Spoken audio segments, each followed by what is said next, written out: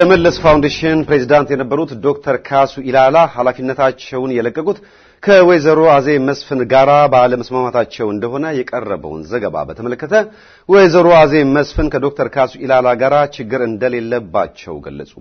ወይዘሮ አዜብ መስፍን ከኢሳት ለቀረበላቸው ጥያቄ ከዶክተር ካሱ ኢላላ ጋር ችግር የለብኝም ከማለት ውጪ ዝርዝር መረጃን ለመስጠት ፈቃደኛ ሳይሆኑ ቀርተዋል። አድዋ ስለሆንኩ መረጃ የለኝም በማለት ጥያቄውን ከመነሻው ለመግፋት የሞከሩት ወይዘሮ አዜብ መስፍን ከዶክተር ካሱ ኢላላ ጋር ችግር እንደሌለባቸው ካመለከቱ በኋላ መልሰው እኔ አዜብ አይደለሁኝም በማለት ስልኩን ዘግተዋል። ሄሎ፣ ጤና ይስጥልኝ ወይዘሮ አዜብ። ጤና ይስጥልኝ ወይዘሮ አዜብ፣ እንደምን ነዎት? ከዚህ ከዋሽንግተን ነበር ምን ደውለው እሺ አንዳንድ መረጃ ፈልገን ነበር ስለ አቶ መለስ ፋውንዴሽን በተመለከተ። ነበር? አይ በቅርብ ጊዜ አንድ ወጣ መረጃ አለ። ከዚህ ከኢትዮጵያ ሳተላይት ቴሌቪዥን ነው ደውለው።? ኢሳት የሚባል አያውቁም? ምናልባት በውጭ ሀገር ያለ የኢትዮጵያ ቴሌቪዥን ነው። እና ምንድን ነው? በአቶ መለስ ፋውንዴሽን ዙሪያ አንዳንድ መረጃዎች ደርሰውን ነበር እና ስለሱ መረጃ እንዲሰጡን ነበር።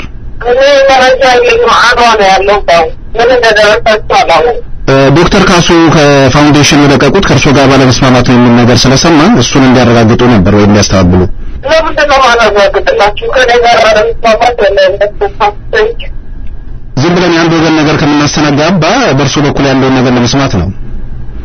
ያዋሩላችሁን አውራ ሄሎ ወይዘሮ አዜብ ተቋረጠና መልሼ ደወልኩ። አዜብ አይደለሁም ሲጀመር ያለ ያለው ማንን ለማነጋገር? ወይዘሮ አዜብን ነበር።? ወይዘሮ አዜብ መስፍንን? ወይዘሮ አዜብ ድምጾ እኮ የእርሶ ነው ያስታውቃል እኮ። ምናልባት ለማነጋገር ፈቃደኛ ካልሆኑ እሱን ይንገሩኝ። መጀመሪያ እኮ አረጋግጠውልኛል።